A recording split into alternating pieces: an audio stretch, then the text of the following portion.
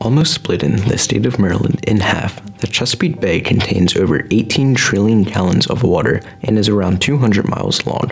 Along with its various tributaries, the bay supports 17 million people, with its yields and opportunities shelter around 10 million within a watershed that covers portions of six states as well as the District of Columbia. Also encapsulated within British confines are a multitude of isles, several of which have been inhabited even before the British colonies of the 17th century. While slightly isolated, these islands have developed a unique and prominent culture. Still widely recognizable today, Smith Island cakes, with their distinctive layers, catch the attention of people all across America, and also stand as Maryland's state dessert. Various seafood dishes such as crab cakes and oysters have become primary symbols of the Eastern Shore due to the island's contributions to the seafood industry. Despite the various difficulties of life on the island, several communities have persisted to keep their culture alive. However, the forces of Mother Nature have already begun their relentless encroachment upon the homes of people that have made their livelihood on the island for generations. Sea level rise as a likely result of climate change has been increasingly steady over time, with the state of Maryland alone losing 260 acres of its shore annually. Not only has shoreline been lost due to the rise in sea levels, but some estimates state that in the recent centuries over 500 islands have also succumbed to the waves of the bay. A warning of these common dangers can be found in Holland's Island, consisting of 225 acres in 1753 and only around 60 acres remaining in 2014. Almost three quarters of a once bustling community has disappeared below the relentless waters of the bay. At its height, the population numbered around 360, but not a living soul is left today. The lonely island hides a dynamic and colorful past similar to its fellow islands of the Chesapeake the first islanders endured turbulent times. They were often at the mercy of war, occupied and menaced by the British Navy and ill-disciplined American privateers alike during the American Revolution, as well as the War of 1812. The Chesapeake Bay was blocked during both conflicts and once more during the American Civil War, during which the island was thrust into a central position between the North and South.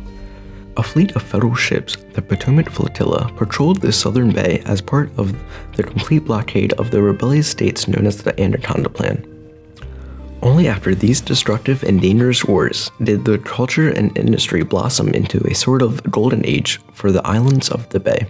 The population of most islands experienced incredible growth extending up to 600 on Holland's Island. By the 1900s, most of the islanders lived on the harvest of the sea rather than the farmlands they initially relied on. An incredibly diverse fleet of locally owned vessels sailed upon the bay, hunting for the rich beds of oysters below. Crabbing and fishing were also large industries of the island, but the most well-known was the gritty oysterman. Unfortunately, the journey of Holland's Island was to come to an end. After a series of especially savage storms, the island was mostly abandoned by 1918 with the non-stop tides continuing to reduce it from a former glory. By the change of the millennium, a single house stood on Holland Island. Previously belonging to the Parts family, in the late 1800s, the lone house was once filled with children and surrounded by a thriving community. Collapsed in 2010 despite the efforts of Reverend Stephen L. White who had tried for years to save the last vestige of the lost island. One of the most isolated communities in America known for its soft-shell crabs is Tangier Island of Virginia. This island will soon join Holland Island in its watery grave. Only 5 feet above sea level, its 470 residents are carved out a precarious existence completely at the mercy of the rising sea levels losing an average of approximately 8 acres per year since 1850, the island has lost about two-thirds of its land thus far. Studies show the island may be uninhabitable in the next 50 years as water permeates from the surface and weathers the edges following the slightest storm. Although citizens of Tangier Island mainly do not believe in climate change, the island is diminishing fast even a small storm can cause a flood. Not only is the island chipping away steadily, but large pieces are ripped away during the heavier storms. Just a hundred yards from the shore, the island is a marshland, with a slight high tide causing the sea to lap at the front and backyards of the island's residents. Located in the middle of the bay, Tangier has little to protect it from the incessant waters lapping at its shores. Tangier Island is not like most other islands, in that the citizens already know their island is going away, but they have accepted it. The citizens are sitting ducks just waiting for it to get worse because they are still attached to their homeland. Yet, they seem to have a sort of blissful feeling about all of it because they know there is nothing they can do to stop it, so why not just enjoy the ride? Smith Island, despite having a slightly longer projected lifespan, is also facing its untimely end due to rising sea levels. Founded by John Smith and named after Captain Henry Smith, a colonial planter who once owned a large part of the island. Its history is influential to the region surrounding it. Smith Island's vibrant community of fishermen and once farmers has shaped the culture of the Chesapeake in 1849, Smith Island was made up of 9,776 acres, which has dropped to 9,499 acres in 1999. This loss of 277 acres, while seemingly insignificant, has turned farmlands into marshes, taking a toll on the island's population. From about 25 families in the late 1700s, it increased to 300 individuals at the time of the Civil War and about 800 in the early 1900s. A drastic decline led to only 375 residents at the turn of the 21st century. It is estimated that Smith Island could sink in at least 100 years, with the bay's waters rising at a rate of one fifth of an inch per year.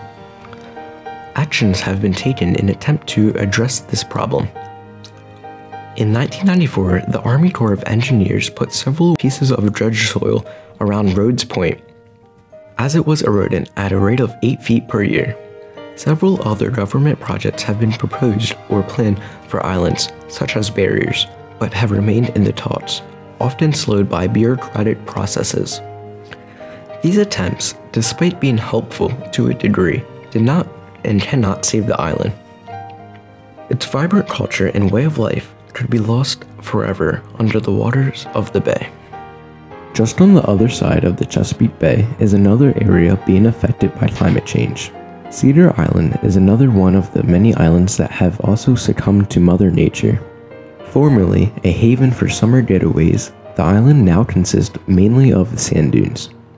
Cabins built by citizens were either brought to the mainland, earned, or sank over time. One of them, Timothy Kilman also owned the southern part of Cedar Island. He currently pays $15 a year to keep the island despite there being. Since we've lost so much and lost everything, they were still charging us for something that wasn't there. And uh, we finally got them out there and looked and said, oh yeah, okay, well that's gone. So I, we, we can't charge you for that. Working hard to carve out a living on the bay, the islanders managed to prosper gaining cultural and economic significance in a bygone era of rugged watermen that echoes to the modern day. Attracting many tourists with the fascinating charm of the enduring islands. Yet their tragic oncoming end is not only a shame, but also an anxiety-inducing reminder for the planet as a whole, which may soon meet the same fate.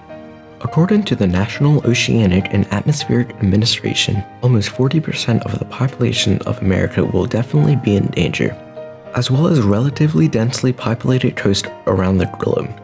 Caused by the absorption of heat from human activities into the seas and the melting of polar ice caps, the rising sea levels pose a serious threat to human civilization and needed to be addressed. There is still hope for these proud islands but with mounting challenges posed by debates on possible solutions and the underlying causes of this disaster. Our island is disappearing, but it's because of erosion and not sea level rise. And unless we get a seawall, we lose, we will lose our island. But back to the question, why, why am I not seeing signs of the sea level rise? Such hopes are still, will continue to be, adrift for the foreseeable future.